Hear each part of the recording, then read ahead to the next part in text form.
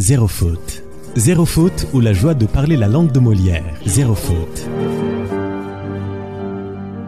Bonjour, je m'appelle Yag Fadila je suis en classe de 4e à l'école Berkeley.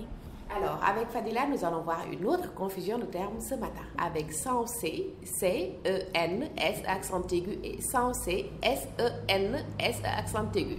Nul n'est censé ignorer la loi. Censé, C-E-N,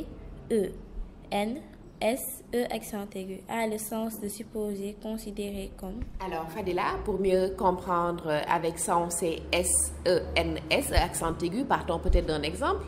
Jamais un pêcheur censé ne prendrait la mer aujourd'hui. Censé, S-E-N-S-E accent aigu, a le sens de raisonnable et pour ne pas se tromper, pensons au premier S de l'expression bon sens. Donc, à noter Fadila.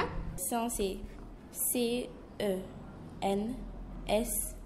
accent aigu, a le sens de supposer, considérer comme.